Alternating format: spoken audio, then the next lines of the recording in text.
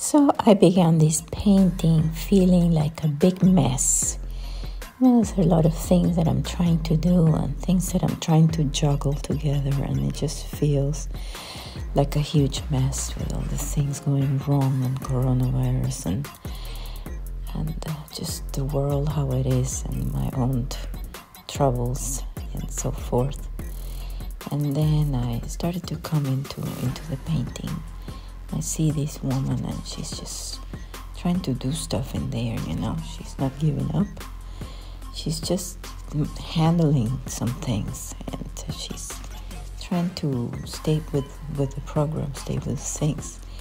And I realized, you know, this woman, she's got a ball, she's got a flower, maybe that's the sun, I don't know. But she's not going anywhere, you know. She's not gonna leave. I mean, she's staying. She's gonna do this thing.